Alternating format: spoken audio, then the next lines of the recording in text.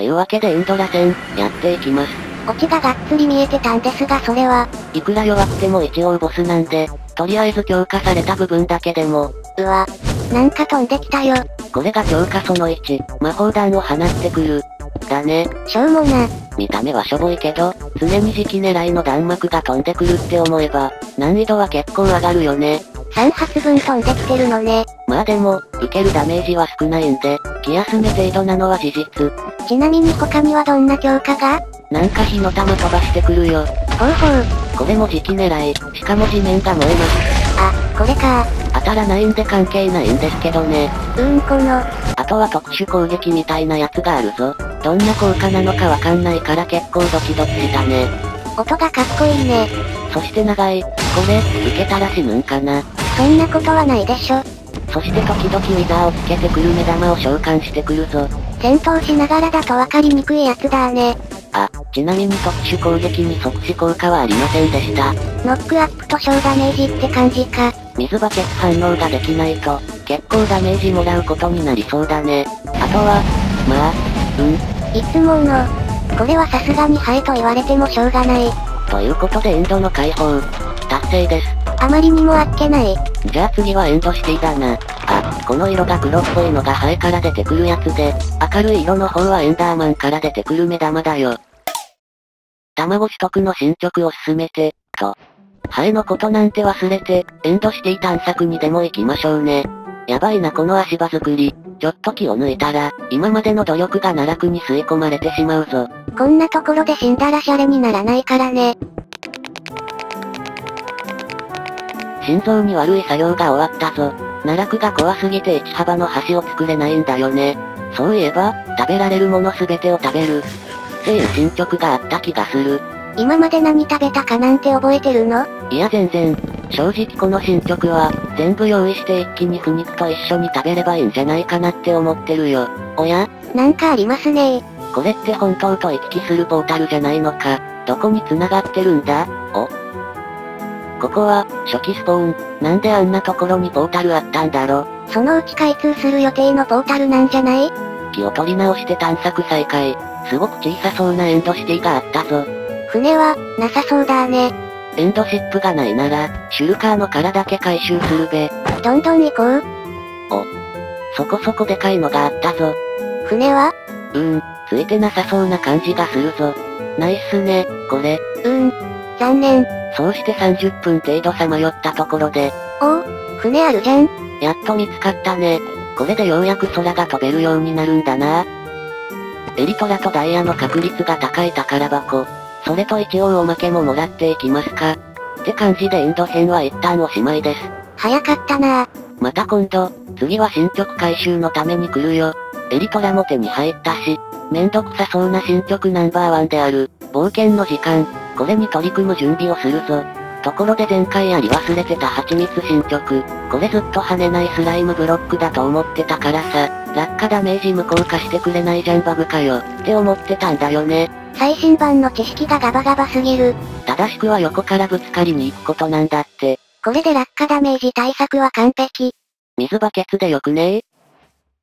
シュルカーボックスを作って、その中に色々詰めて、長期の旅の準備をしていきます。エリトラにも忘れず延茶しておこう。さてと、今のところ42分の20が終わってるらしいんだけど、今までに訪れた場所なんて覚えてるわけがないんで、ちゃんと記録していきます。拠点がある場所は、森林と森のある丘陵がセットに、つまりここでまず2つと、そしてすぐそばには砂浜があり、これで3つか。そして前回作った農園の付近には、平原と暗い森があるよ。そんで暗い森を越えた先にあるのが、ぬるい海ってわけだね。近くに他の海関連のがないかなと思ってたら、こんなところに川が、これ海だろ嘘つくな。そしてやっぱりありました。深い海。え、深い海って42個の中に含まれてないの？知らなかったなそして砂漠、荒野、森のある荒野の高原、荒野の高原も揃ってて一気に4つ進んだぞ。メサが近くにあるの？動画で触れてこなかったけど結構強いね。サトウキビを回収して、と、これで探索範囲が一気に広がるぞ。僕はできるメインだからエリトラ修繕用の皮も忘れたりしないぜ。これで大河関連も完了。と。うん？海底神殿じゃん。このワールドでは初めて見るな。すべての敵を倒す進捗に、エルダーガーディアンが含まれないからどうでもいいかって思ってたけど、ガーディアンは含まれるんだよな。あ、ついでにぬるい深海もあったね。順調に冒険が進んでいって気持ちがいいな。そういやモンスターの種類って今何種類なんだ？全部で25種類のモブを倒すんだよね。あと5種類か。村襲撃イベントで出てくるモブとかがまだ残ってるから、これはそこら辺やった後考えれば良さそうだな。さらに山関連と湿地帯も訪れたぞ。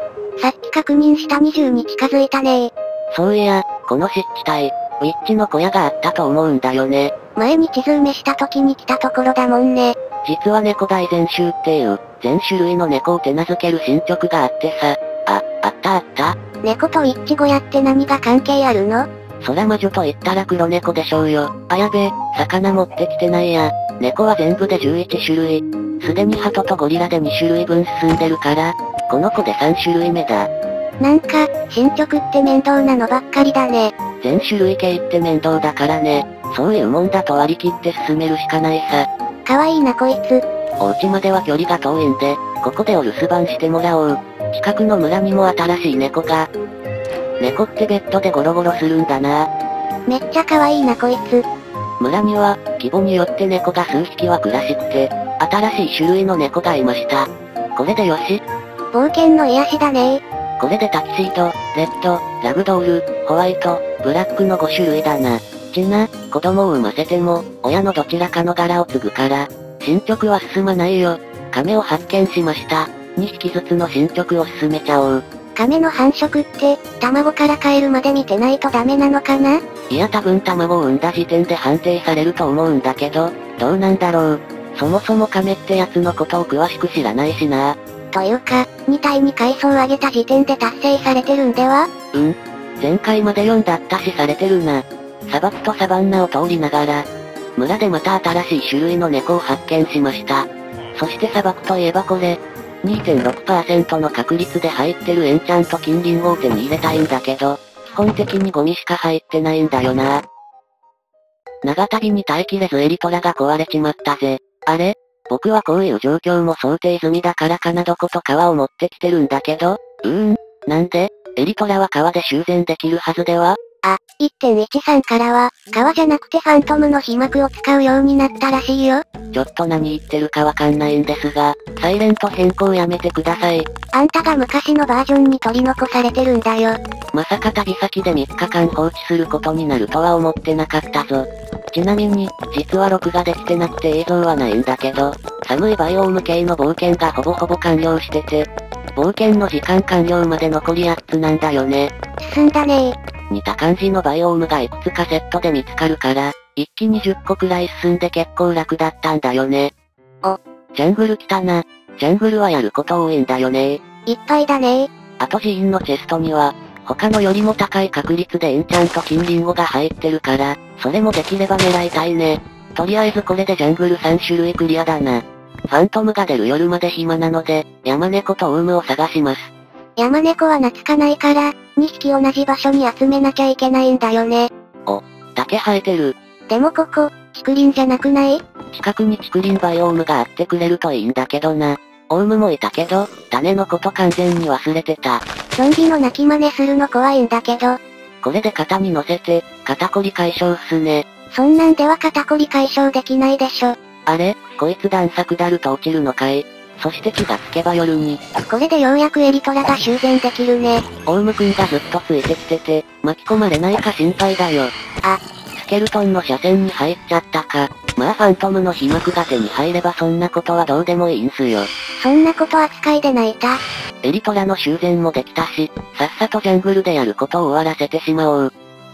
スイカがありますねとなればさっさと2匹ずつの進捗進めて、冒険の時間を達成したいところだね。山猫は落下ダメージ無効化できるんだっけか。そう、だから突き落としても問題ない。その考え方は問題だと思うけどね。5分くらい来て、ゾンビ来てるじゃんか。自分が繁殖できないからって、僕に八つ当たりするのやめてくれよな。多分ゾンビはそんなこと考えてないよ。